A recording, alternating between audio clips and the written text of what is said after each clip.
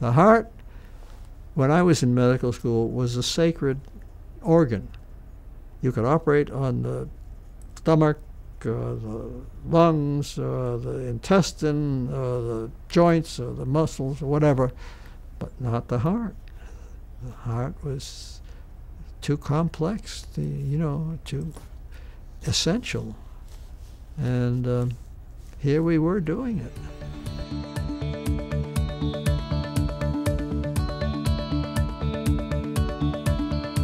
50 years ago, cardiac surgery was a still pretty uncommon event. Uh, and so for Maine Medical Center to start a program 50 years ago was quite remarkable. Emerson Drake was a surgeon, and in the early 50s, he did closed cardiac procedures. He did uh, operations on the great vessels and operations where he didn't open the heart and enter the heart. But he had a vision for uh, beginning an open heart program here for a patient to have heart surgery, they'd have to go out of the state before this program was opened, and that was uh, challenging for patients. They'd have to leave their homes. They would go to centers that often had long waiting lists. So long that sometimes people's lives were really endangered. So that was one of the one of the elements about getting this program going. We were fairly early in that in the open heart surgery game, but we were ready because we had the basics. We had the experience in, in closed heart surgery and in postoperative care and in catheterization. So we were ready to take the next step. The first open heart surgery in the world was done in 1953. This was uh, quite an extraordinary feat to uh, perform open heart surgery in 1959. We were holding our breath with every one of these. You know, this was opening, this was operating on the heart. All I can think of is that I didn't know enough to be scared, because now I think I would be terrified. I was born with this, he said, apparently this valve that I think at the time you folks told me it was open the size of the head of a pin and you opened it to the size of a nickel.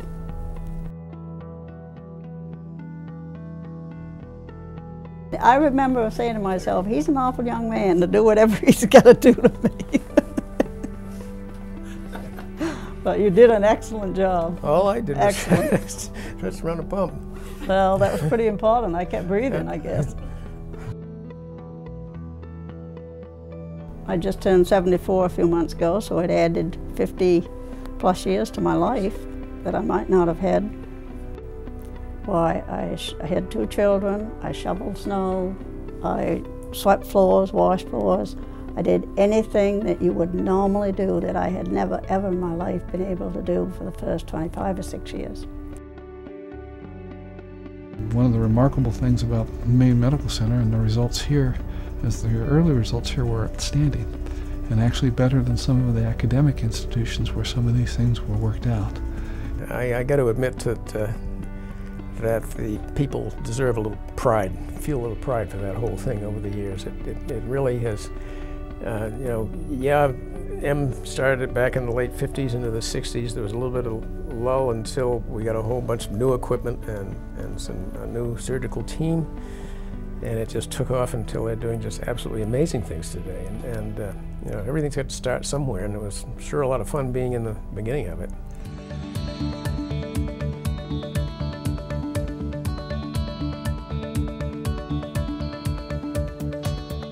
Prior to my coming here in 1962, Dr. Hebert did the first uh, valve replacement, which was a big, big step at that time. And uh, then a year after my arrival, in March of 72, we did the first coronary operation. We did cardiac surgery two days a week, and gradually through the years, it increased to being done every day of the week.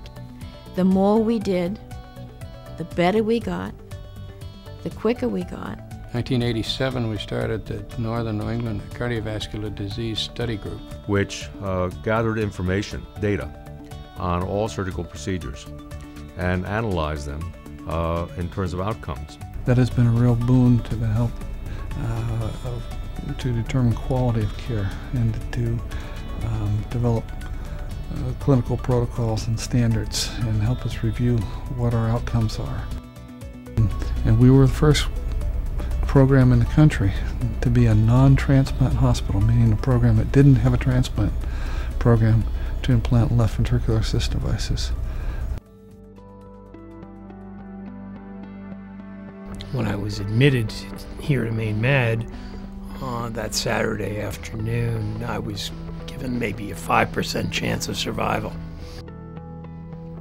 They came back to my wife and said, Here's the, the lowdown. We've got one more chance uh, to save your husband, and um, it's called a left ventricular assist device, which is a uh, internally mounted titanium device that is uh, implanted in in me, uh, and it keeps my left side of my heart functioning, and keeps me alive. And um, here I am a year later, and not only surviving but uh, th- thriving and waiting patiently for a heart transplant.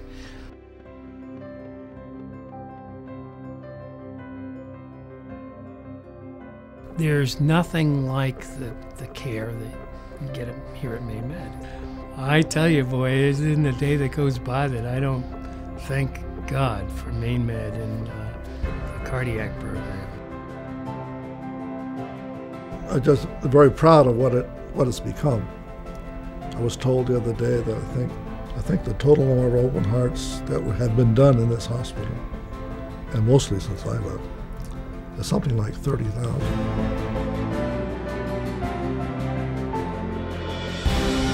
I think the overall view of the program, if we look at our mission and vision statement today, is to be a leading provider of cardiovascular care in the nation. That's really true of what the founders of the program are trying to bring uh, cutting edge care to the patients of Maine. Um, we're still at it today, 50 years later. It's important to understand that cardiac surgery has been successful here at Maine Medical Center, I believe, because of the people that have been dedicated to making it successful. It's a team sport, cardiac surgery. You can't just show up and do it. You need to have a lot, a lot of people to do it. And everybody who comes here in our team is really interested in figuring out ways to do our job better. I didn't feel that I did anything extraordinary, but I think it's everybody doing their thing that makes it extraordinary. Uh, we're going to make a difference, you know, making a difference as a team. We're allowing, you know, a family member to go home to, you know, children, to grandchildren, to siblings, husbands, wives. We're giving them a chance. This was something that truly is. You have somebody's life in your hands.